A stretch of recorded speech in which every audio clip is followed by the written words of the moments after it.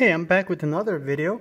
So on this one, uh, I just want to make sure that you have all the help you need, okay? So maybe you have not used a protractor before, and I know this is just, uh, it's on the paper.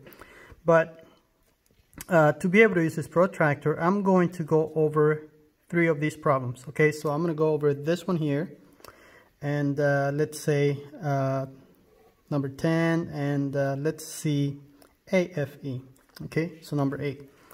So to find the measure of each angle, so let's start with angle A. I'm, I'm sorry, number 4, angle AFB. So this is point A, point F is the vertex, and B is this point here. So that means we're talking about this angle. Okay, so the question is, what is the measure of this angle, and how do we use a protractor to, protractor to help us find the measure of the angle? So notice that this ray is right at zero, okay? And then the angle opens in, in this direction wait okay? And and uh, if you look at this other ray it's right at 50 degrees. So that tells you that the measure of angle AFB uh, is 50 degrees.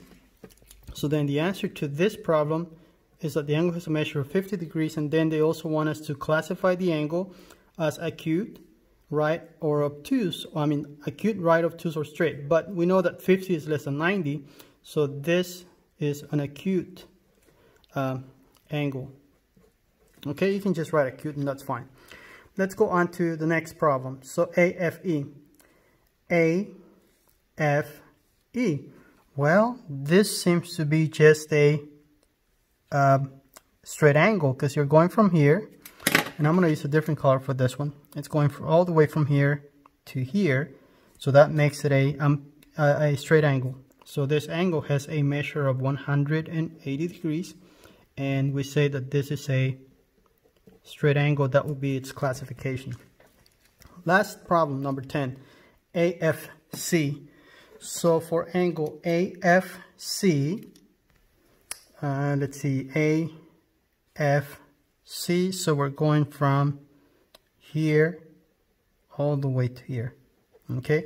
So again this one starts from zero and then it we see that it's between 70 and 80 it's right halfway between 70 and 80 so I'm assuming you can guess the measure the the measure of that angle. That angle has a measure of 75 degrees.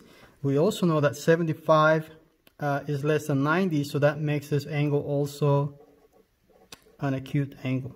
Okay? I hope that helps well, uh, that helps you with the assignment. Until the next time